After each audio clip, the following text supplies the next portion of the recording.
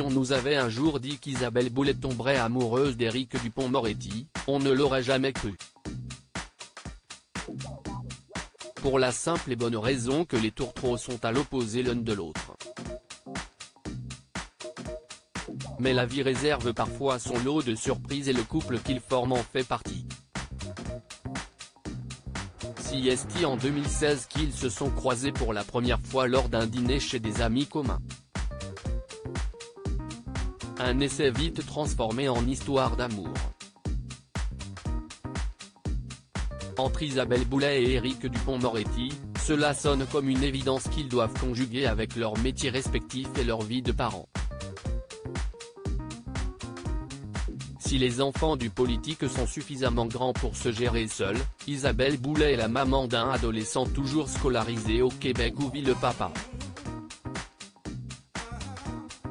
Raison pour laquelle la chanteuse de 50 ans s'y rend régulièrement, tous les 15 jours environ, mon fils Marcus, qui a 14 ans, fait ses études dans un collège à Montréal. J'ai une garde partagée avec son père. On s'entend très bien, tout est simple entre nous confie-t-elle dans les pages de gala. Ce rythme, Éric Dupont-Moretti n'a pas eu d'autre choix que de s'y faire, je suis une très grande amoureuse, très fidèle mais, en même temps, j'ai besoin de solitude. Éric comprend ma nature. Je suis une femme qu'on attend. Il le sait. Je me divise entre deux continents, deux pays. Et il semblerait que ces périodes d'éloignement conviennent parfaitement à l'un comme à l'autre, on a trouvé notre équilibre ainsi, celui qui convient à nos caractères. Je l'accompagne de temps en temps comme il m'accompagne de temps en temps.